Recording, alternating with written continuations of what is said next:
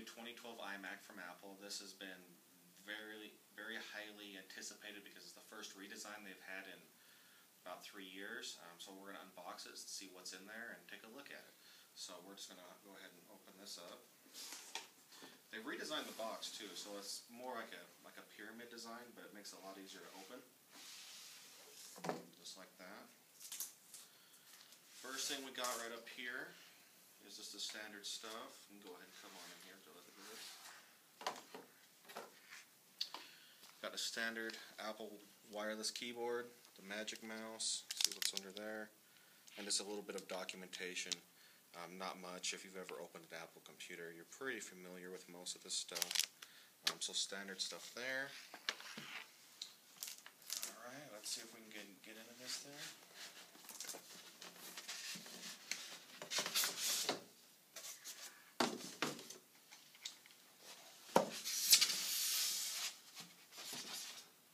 What is that?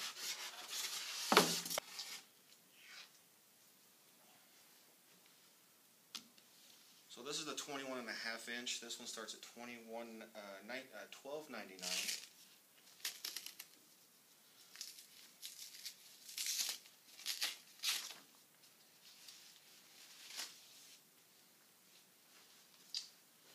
There's the iMac. It's five millimeters thin at the edge, but as you see here, it kind of bulbs out for the components inside the computer. If we look at both sides, no disk drive, something Apple's eliminated. You got your iSight camera, your microphone right here on the front. We turn to the back. They moved the SD card to the back right here. It used to be on the side. Got your headphone jack, your USB 3.0 ports, your two Thunderbolt ports, and your Ethernet port. Standard power button is right over here.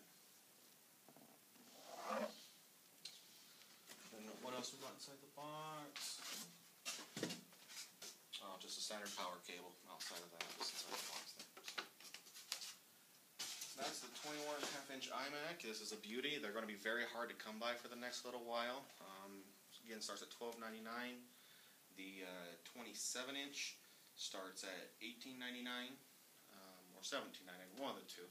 Um, but uh, yeah, that's a 21 and a half 21 and a half inch iMac. Check it out.